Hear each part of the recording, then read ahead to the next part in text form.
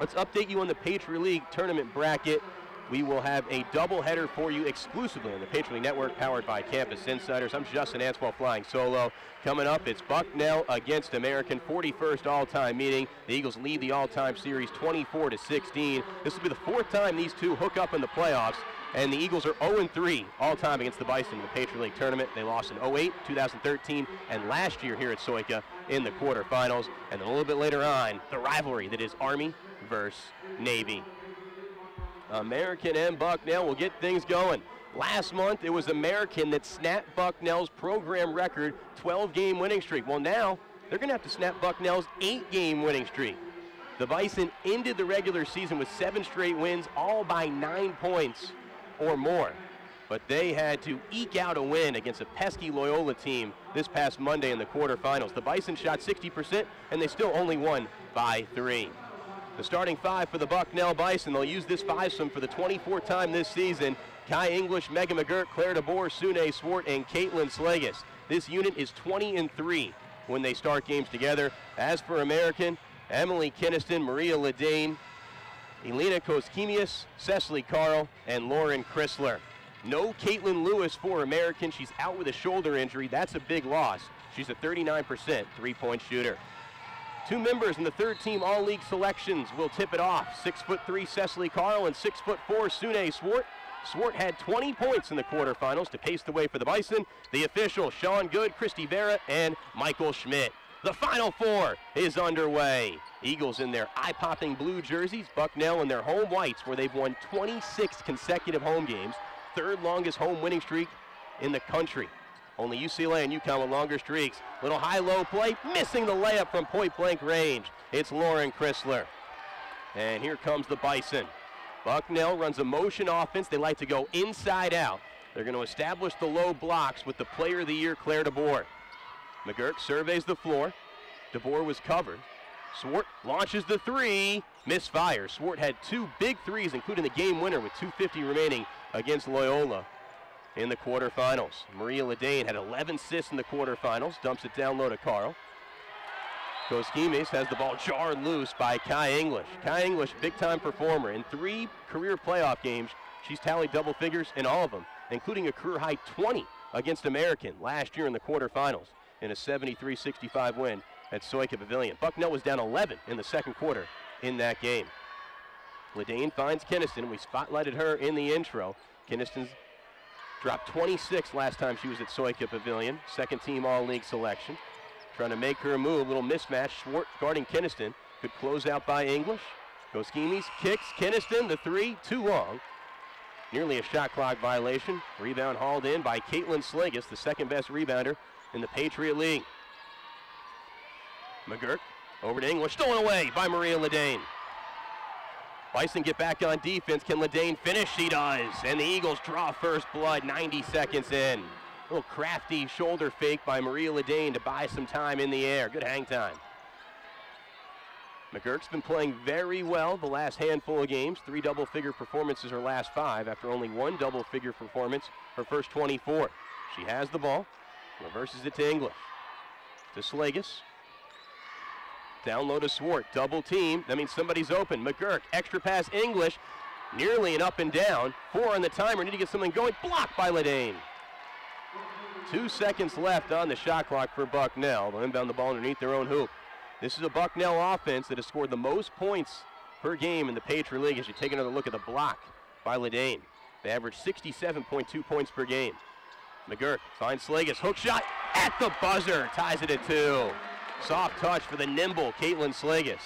Was the rookie of the year last year, second team all league selection this year. She's, going, she's going down the same path that Claire DeBoer went down. Cecily Carl, she can stretch the floor. She'll launch the three, but there's an offensive foul away from the basketball on Maria Ledane. Teams first, her first.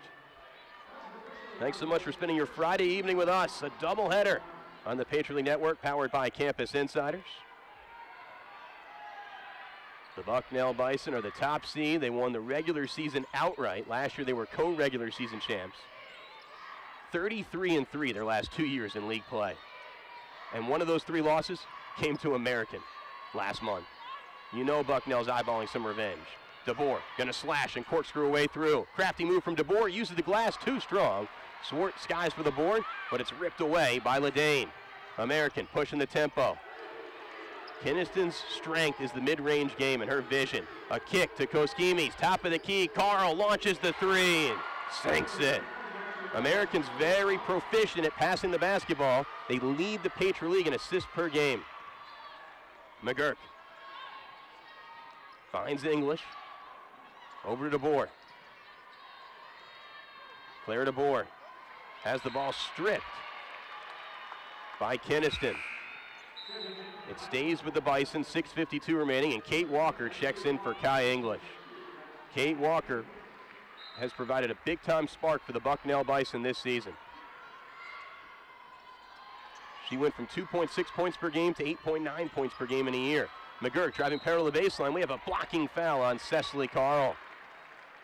Second team foul on American. First personal on, Steph, on Cecily Carl. Take another look. She didn't set her feet. That's why it's a blocking foul. It was not in the act of shooting. Megan McGurk was trying to coax the officials into letting her shoot too. To no avail. She'll inbound the ball underneath her own hoop. 6.48 remaining. 5-2. American leads Bucknell. A quick dump to Swart down low. Hook shot goes. Sune Swart started one game her first three years. She's making her 30th start her senior season. The tri-captain makes it a 5-4 ball game. Down low to Koskimis, partially blocked by Slagus, still able to be flipped in by Elena Koskimis, making the spot start for the injured Caitlin Lewis. 7-4 American lead, 6.20 remaining. Kate Walker, never bashful to shoot, but finds McGurk. DeBoer's worked on a perimeter game her last two seasons.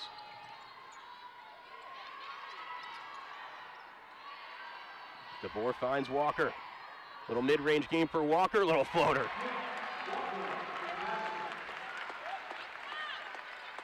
Hard to believe Kate Walker was not considered a top 15 player by the Patriot League coaches this year.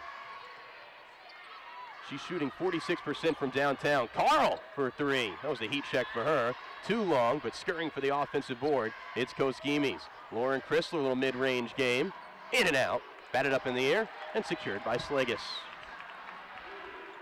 Bison have a chance for their first lead. McGurk stops. Down low to Swart, knocked away by Carl. Eagle defense clogging up the paint. That's Bucknell's bread and butter. Ledane down low. Chrysler against Slagus, blocked by Slagus. Slagus has twice as many blocks this year as she did her first year. She's being able to defend without fouling. That's what Coach Lane preaches, the assistant who runs the post unit. Midway through the first quarter, McGurk drives, and we have a charge.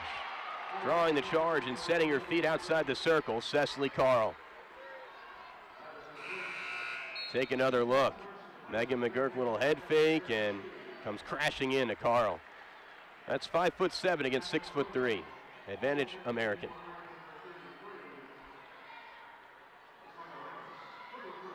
Maria Ledane went to Grosse Pointe North. Claire DeBoer went to Grosse Pointe South. They went to high, they were high school rivals. And now they're Patriot League rivals. Ledane orchestrating the offense. Leads the league in assists at five per game. She finds Michael Harris as Kat Romaine is checked in. Harris dropped a career high 16 against the Bison on February 1st. Chrysler down the left side of the key. Little floater. Gets the roll. That was a Disney shot. That hit off the back rim, hit off the right side of the rim, then dropped in. That's what you see in those dramatic Disney movies. 4.25 remaining. 9-6 American leads Bucknell. DeBoer thought about the tie. Good closeout by Keniston. Romaine down low to Slagus. The blow by and the finish. Smooth move by Caitlin Slagus. Spun the right direction. Been able to cap off the possession with a hoop. Next stoppage, we'll have our media timeout. Koskimius to Michael Harris. Little jab for Keniston. Scoops and scores. That is a pretty move, a one-on-one situation for Emily Keniston. So quick. McGurk blitzes by the defense and scores. Weaves her way through three American defenders. This is the winningest senior class in Bucknell women's basketball history. The tri-captains of Megan McGurk, Sune Swart, and Claire DeBoer. Kinnison, a quick trigger, comes up short. Slagus with the board. Five rebounds for Caitlin Slagus and four points already. On pace for her 13th double-double this season, had just one her freshman year. That's how much she's improved. Down low to the aforementioned Slagus. Hook shot goes. Bucknell shooting 67%, American 46%. 12-11, Bucknell leads their first lead of the game. Bucknell in their matchup zone. Kinnison to Koskimius. Maria Ledane calling for the ball. Guarded by Walker, one of the best defenders. Michael Harris, mid-range jumper. Another Disney roll for the Eagles. Soft touches off the rim. Eagles storm back in front. DeBoer's been held scoreless. She's led the team in scoring in 17 of her last 24 games.